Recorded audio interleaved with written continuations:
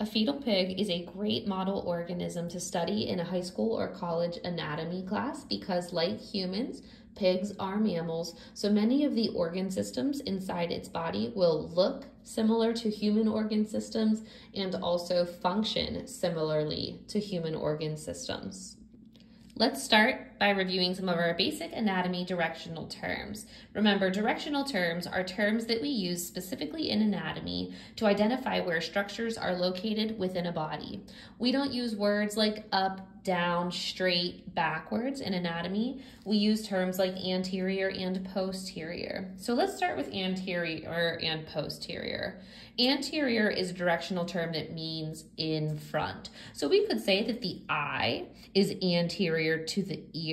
We could say that the arm is anterior to the leg. And if I drew an imaginary line down our pig right here, we could say that this is the anterior end, meaning it is closer to the head or in front. The directional term posterior is the opposite of anterior, so that means behind or towards the tail of the pig. So I could say that the tail is posterior to the leg. I could say that the ear is posterior to the eye or the snout. But again, if I drew my imaginary line right here, we're going to say that everything that is behind that line is the posterior side of the pig. Dorsal is a term that we use to refer to anything that runs along or near the backbone, and the opposite of dorsal is ventral, and ventral is along the belly. Many of the organs that we're going to see inside the pig, we will find by a ventral view.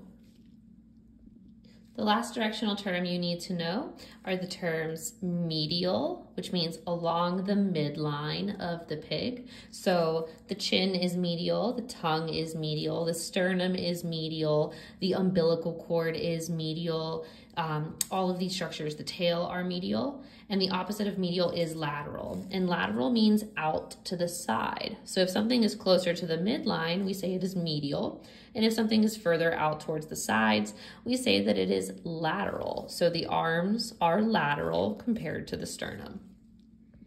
The next set of terms you should be familiar with are body cavities. Body cavities are spaces inside a body that hold specific organs. So three body cavities to know. The space that holds the brain that we really can't see from this ventral view is the cranial cavity. So the brain is inside the cranium or the cranial cavity. From around the neck down to the bottom of the arms, we have what we call the chest cavity or the thoracic cavity. So this is the cavity that will hold the heart and the lungs and the thymus and the thyroid gland and a lot of the major blood vessels. And then below this line and down towards the bottom of our pig, we are gonna generally call this region the abdominal cavity. The abdominal cavity holds the digestive organs and it holds the spleen, it holds the liver, it holds the intestines. And we'll see all of those organs once we look inside the abdominal cavity.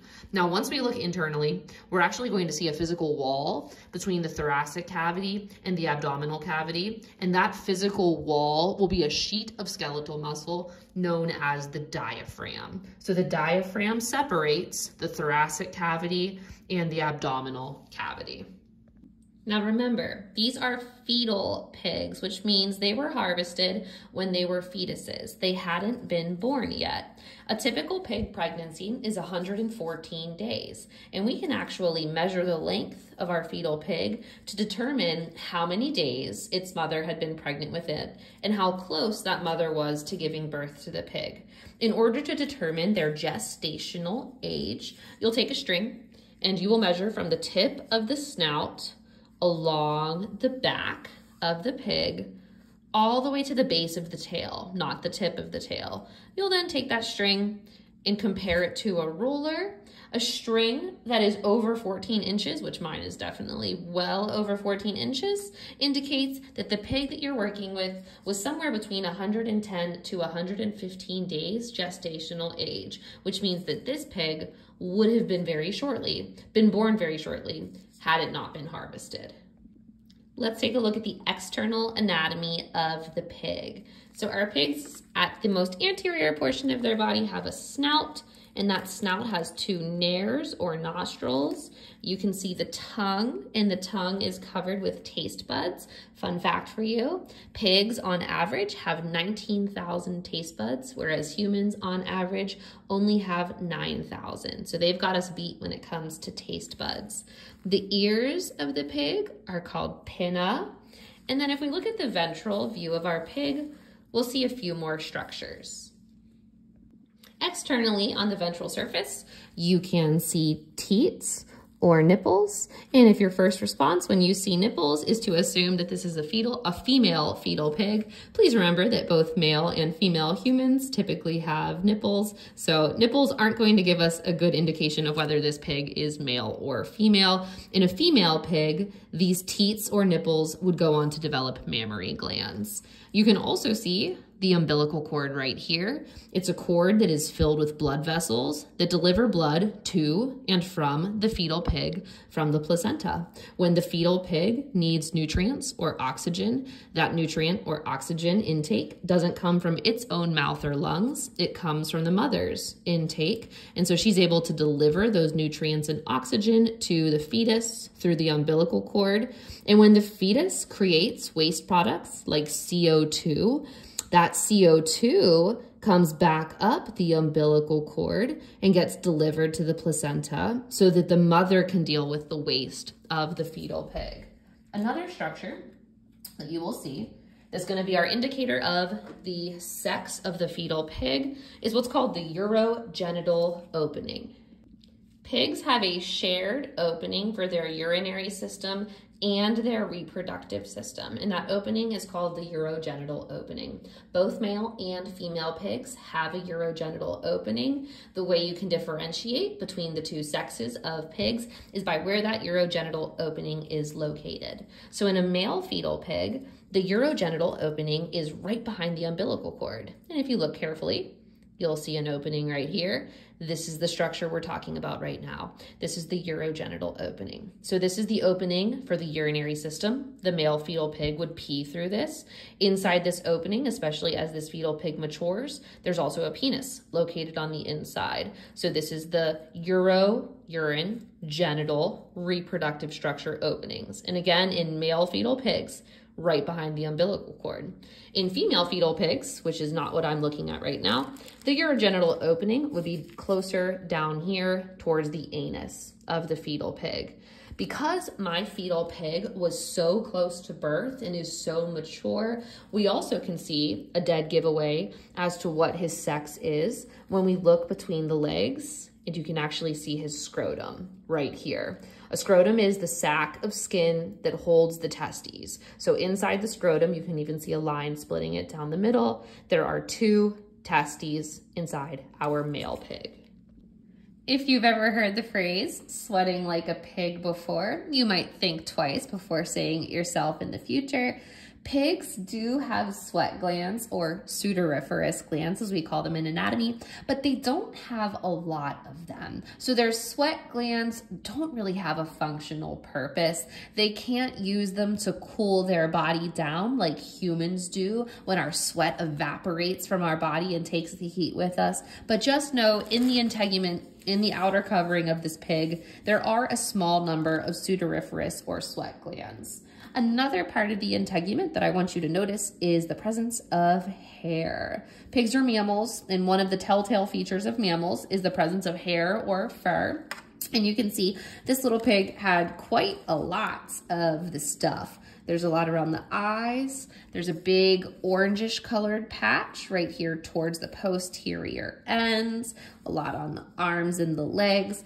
And pig hair does have a similar structure to human hair where we can see the shaft on the outside if I were to pluck one of these hairs, we would see that there's a root on the inside, and then each hair grows out of a single hair follicle or tunnel in the pig's skin that the root is embedded within that the hair grows out of. Pigs have similar muscles to humans, so inside the leg and the rest of the muscles in our pig's body The muscle names are even the same names that you would see in human muscles. For example, the pig is going to have quadriceps muscles, four of those up here that have similar names to those in a human, and they're going to have hamstring muscles back here in the back of the leg, again with similar names to those in people. Now, we are going to find one of the bigger muscles in a pig, and honestly, in a lot of specimens that walk on four legs. That's one of the hamstring muscles, and it's known as the biceps femoris. So we are going to try and cut the skin so that we can see this specific biceps femoris muscle.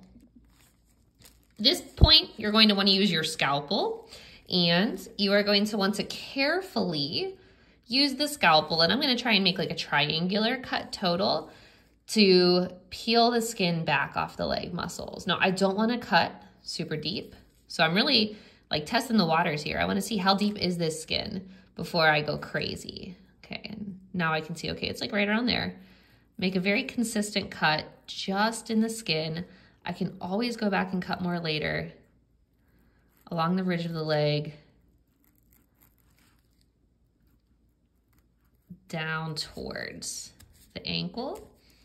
And it's not a huge deal if you cut some of the muscle, but it'll just be neater to see the muscles intact.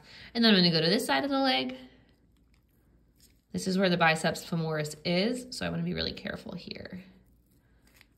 But again, if you cut some muscle, which it looks like I did in that softer part there, it's not a big deal down towards here.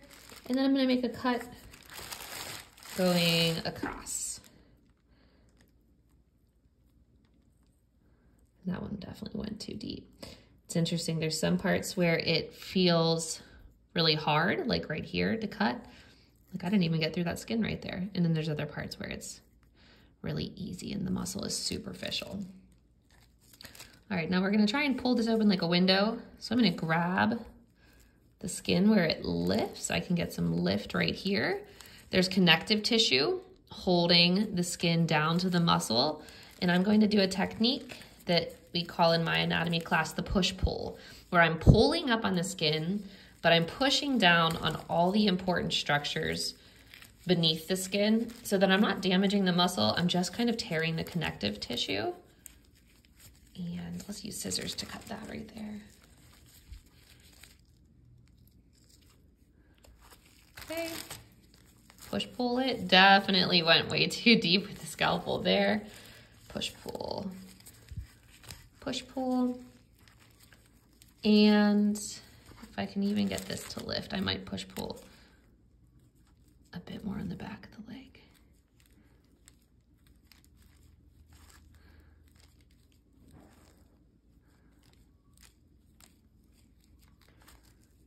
Right, So this is muscle here. And it's kind of hard to see the delineation between the different muscles, and we don't need to for the sake of the point of the dissection that we're doing today. The point is that you can see muscle. So muscle, you're always gonna see that it has a fibrous-like appearance, and that's because we know that muscle is made of millions of little skeletal muscle fibers. That's what I'm seeing here. Now this specific muscle, the biceps femoris in the leg, it attaches down here and it attaches back here. So what's cool is muscles contract and relax and muscles attach to bone via tendon. When our muscle contracts and relaxes, the muscle pulls the tendon, which then pulls the bone. So if the biceps femoris, you can see it happening already, contracts, I'm just pulling that muscle, it causes the lower leg to move. And when it relaxes, it causes it to return to its original position. So muscles contract, pull on tendons, which then pull on bones. If you would like, you are welcome to go a little bit deeper in the leg. We're not going to be doing anything else in the leg and see if you can find the femur up here. There's also a tibia down here that you'll be able to find because they've got, again, similar bone structure to people with their musculoskeletal system.